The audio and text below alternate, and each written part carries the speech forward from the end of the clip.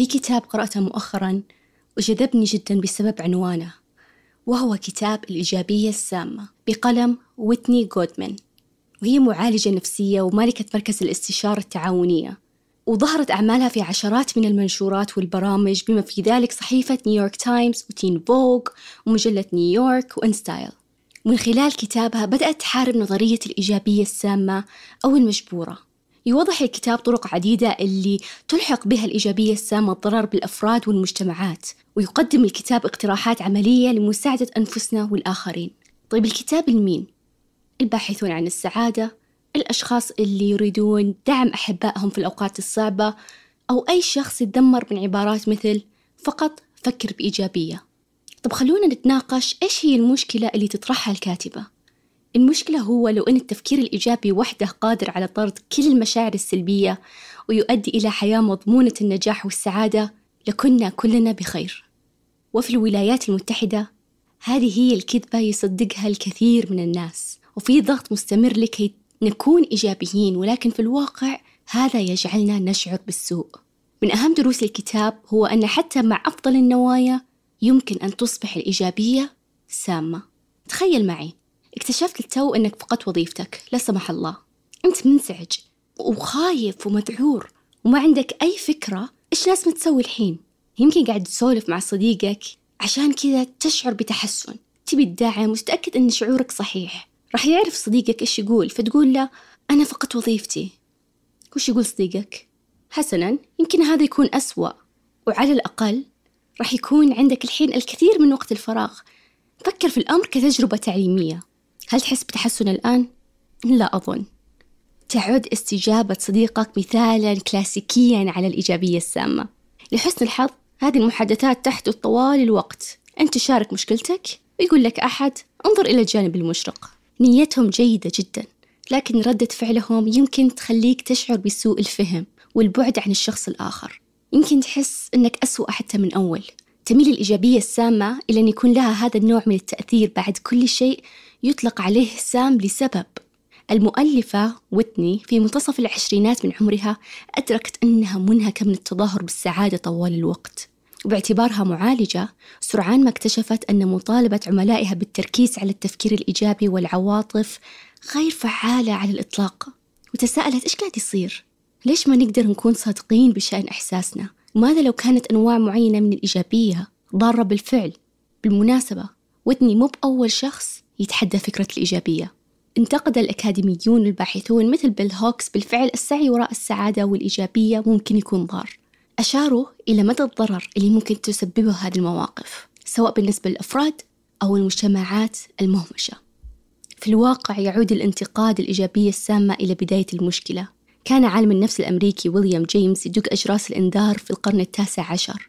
لذا فإن الإيجابية السامة ومنتقديها ليسوا بالأمر الجديد. ولكن حان الوقت عشان ناخذ المشكلة على محمل الجد.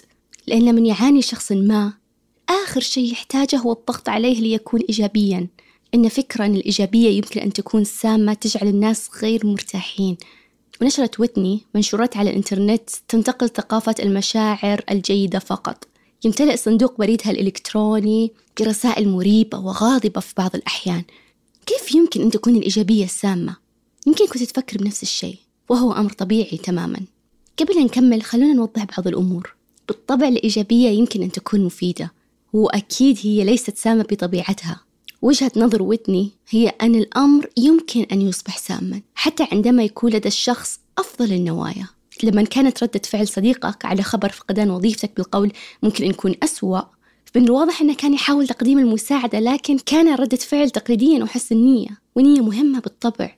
ولكن في بعض الأحيان التأثير كمان مهم أكثر. وينطبق هذا بشكل خاص عندما يتعامل الناس مع مشكلة خطيرة تغير حياتهم.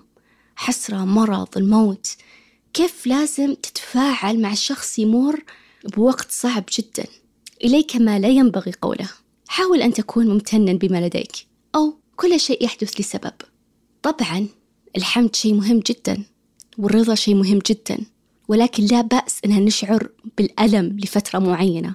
هذه التعبيرات اللي نستخدمها غالبا في محاولة التشجيع والراحة في عائلة كثير سمعت هذه التعبيرات من الأشخاص اللي تعرفهم وكانوا يمرون في مأساة رهيبة. كانت اسمها العائلة فرنانديز. هم من عملاء ويتني. في إحدى الأيام جاءت هذه العائلة لجلسة علاجية طارئة. توفي ابنهما البالغ من العمر 23 عاما بسبب حادث. وكانوا جميع الأفراد في حالة صدمة. كان هناك الكثير من الألم وقالوا لويتني أنهم ذهبوا إلى المعبد حيث كانوا يتعبدون أحيانا بحثا عن الدعم. وبذل أعضاء الجماعة اللي حولهم أقصى جهد لتقديم الدعم وأخبروا على العائلة أن ابنهم في مكان أفضل وأن كل شيء يحدث لسبب ما. وهذه كلمات صحيحة وحسن النية لكنها ما كانت مفيدة نفسيا في ذيك اللحظة. وبدأ من ذلك حس كل أفراد العائلة بارتباك وكأنهم قاعدين يرتكبون خطأ في الحزن. بطريقة أو بأخرى. لذا اختيار كلماتنا في الوقت المناسب مهم جدا. فكر شوية معي للحظة. عندما يموت طفل شخص ما فجأة كيف يمكن نتوقع منه أن يضيف لمسة إيجابية للموقف؟ بطبيعة الحال فإن الوفاة أمر مأساوي وهي واحدة من أصعب المواقف اللي ممكن يواجهها أي شخص. فما في مكان ولا مجال للإيجابية المجبورة. هذا النوع من الإيجابية غير مفيد وغير فعال. وفي زي مواقف أخرى مثلا امرأة تعاني من العقم رجل يعاني من مرض مزمن أو شخص قاعد يتحاول يتصالح مع طلاقه. فمن فضلك لا تخبر أي من هؤلاء الأشخاص أن معلش تفائل لأن هذه اللحظة يحتاجون أنهم يمرون بالألم يأخذون العبرة. صحيح مرة صعب معرفة إيش ممكن نقوله أحيانا وما في نص مثالي لكن ويتني عندها بعض الاقتراحات. لما يقول لك شخص ما عن مشكلته استمع استمع جيدا وانصت واعترف بألمهم وانتبه له. تقدر تقول صح هذا صعب جدا أو أنا آسف لأنك تمر بهذا. في الأساس فقط كن هناك لأجلهم. ممكن حتى تقول ما أعرف إيش أقول بس أنا هنا لأجلك. في النهاية هذا أي أحد يحتاج يسمع في الأوقات الصعبة. إجبار الناس على أن يكونوا إيجابيين يجعلهم في الواقع غير سعداء. ينفق الأمريكيون كثير من الوقت والطاقة والمال في السعي وراء السعادة أكثر من أي بلد آخر. ومع ذلك لا فرق. الهوس بالسعادة والإيجابية ليس حل. تظهر نتائج المسح الاجتماعي العام أنه لم يطرأ أي تغيير على مستويات السعادة في الولايات المتحدة منذ عام 1972 ميلادي. أن العيش في مجتمع تسوده الإيجابية السامة أمر مرهق. في مواجهة المشاعر السلبية والمواقف الصعبة التي تعد جزءا طبيعيا من الحياة صعب جدا أن تظل إيجابي طوال الوقت. أقول لكم قصة عن امرأة تدعى توري.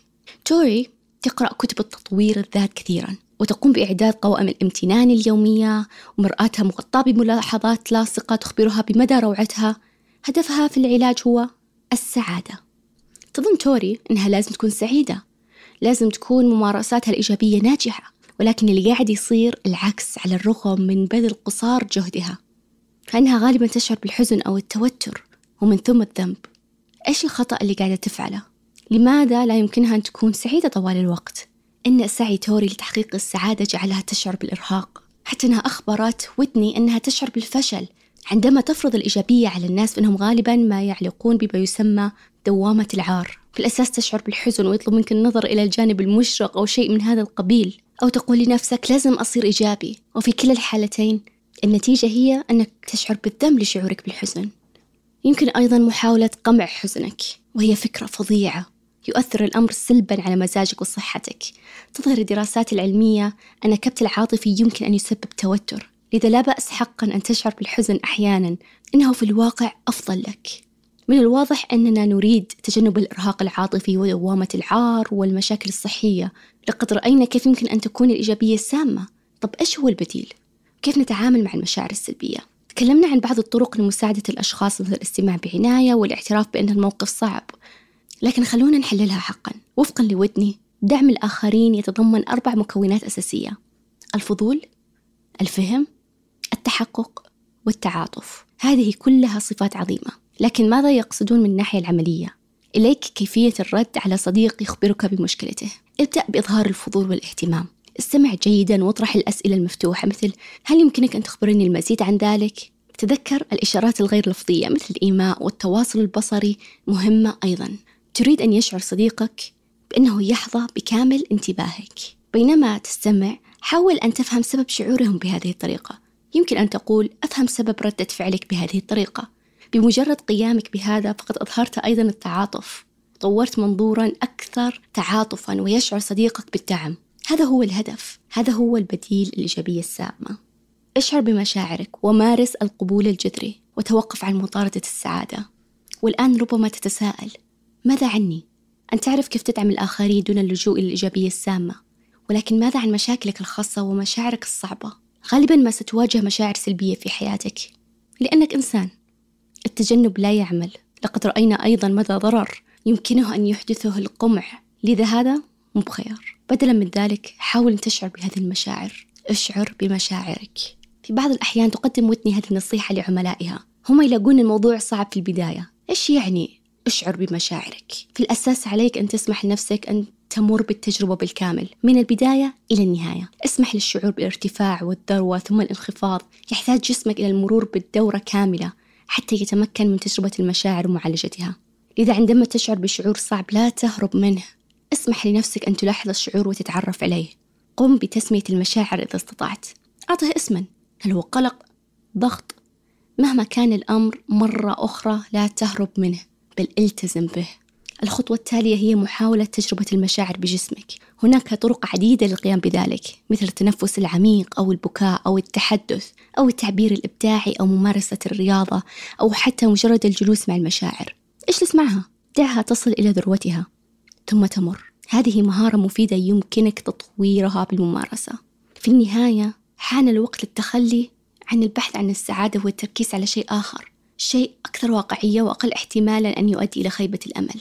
يجب أن نهدف إلى عيش حياة مدفوعة بالقيمة قرر ما هو مهم بالنسبة لك. وعش وفقا لقيمك الشخصية مهما كانت. يمكن الأشخاص الذين لديهم قيم راسخة أن يحكموا على الموقف وفقا لمعاييرهم.